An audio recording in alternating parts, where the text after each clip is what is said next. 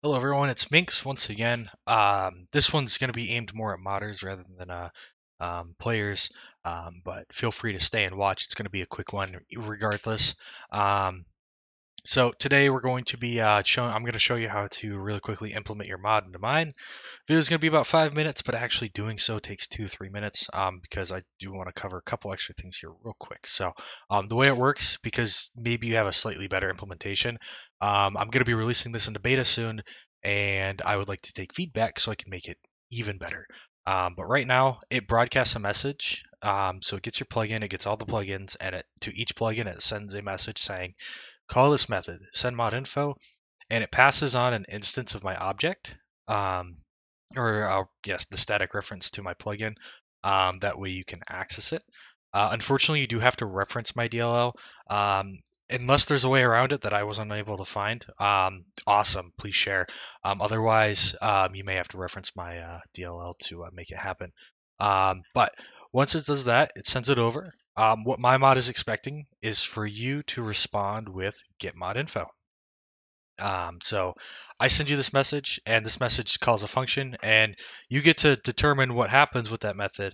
Um, but ultimately, um, if you want your mod to be sent over to clients to be downloaded, um, I need a mod creator and a mod name, which we will talk about when we get over to adding it to the uh, uh, to your mod, um, where to get those two things. They're pretty straightforward. Um, you probably already know what they are because they're from Thunderstore. But um, okay, and that's it. My mod handles everything else from that point on.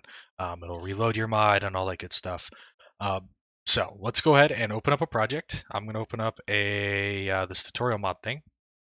And I already have it referenced, but just in case, um, you guys should uh, probably all know this, add reference, um, LC mod sync, be on the latest version uh, when a DL is available, of course.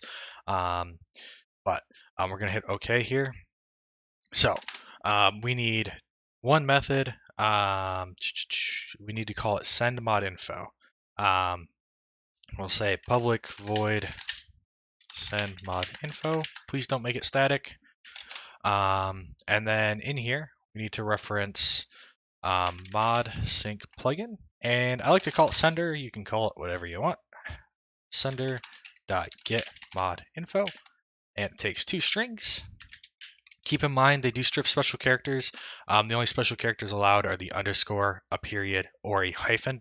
Um, I'm potentially going to get rid of the dot because it's uh, potentially unsafe, but um, with all the checks, it probably doesn't matter. But just in case, um, I need to determine if dots are allowed in names, because if they are, then I'm going to leave it, but otherwise I'll get rid of it. Um, but okay, so we need the mod name and or the mod creator and the mod name. I have an example pulled up, and we're going to use that example um, from the LC API. It's the example I've been using the whole time uh, for all this stuff because it just makes things super easy. Um, so the mod creator is 2018. So we're going to pass 2018 through as a string. And then the mod name is LCAPI. We're going to pass that through as a string. Control S, Control B to build. And we're going to go ahead and give this a real quick test. So we're going to um, hop over to here. There's the reference to ModSync. Got tutorial mod. Drop that in there. And with that in there, we should be able to go ahead and hit play. And we're looking for it to say uh, LC API. There it is right there. We have received LC API. If we go back to ModSync, we go um, reset projects, LC ModSync, and we come over to get mod info, which is what was called. Um, we can see mls.log, but we have received mod name LC API. So um, that is how I got it to work. If there's a slightly better way to do it, or even a much better way to do it, please, I'm all ears. This is the best way I could find because I don't have, um, I don't have an easier way to that I know of to do it. So um, that's how you add it. It's going to be uploaded into the GitHub or updated into the GitHub as well as Discord on how to do so um, and all that good stuff. Um, but otherwise, thank you for watching and have a wonderful day.